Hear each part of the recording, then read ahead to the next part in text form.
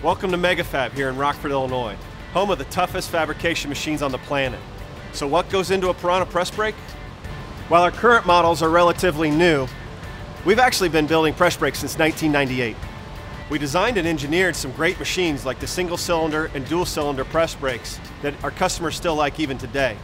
But the price of steel and fabrication in the US was just too cost prohibitive. After we stopped production, our customers and dealers began asking us to build a press brake again.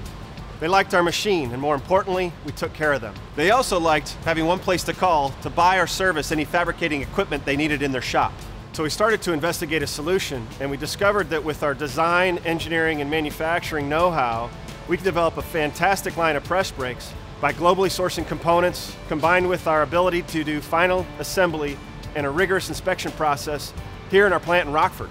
We went in search of world-class partners including CNC controls from the Netherlands, servo motors and drives from Japan, fabrications and machining from China, and hydraulic systems from Germany.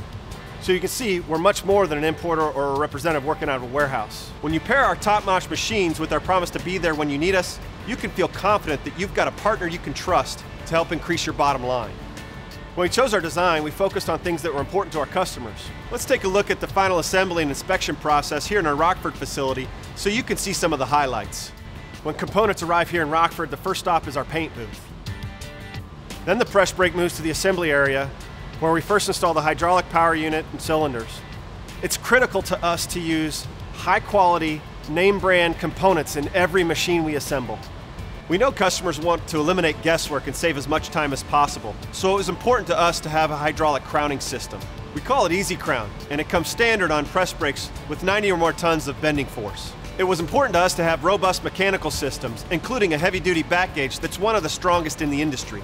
Control systems are the key to productivity, and with that in mind, we chose Delem Controls because they're the global leader.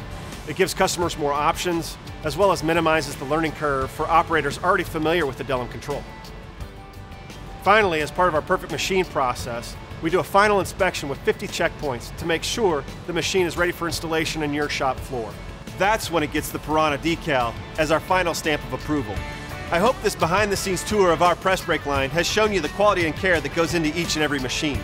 Give us a call or check out our website to see which model's right for you.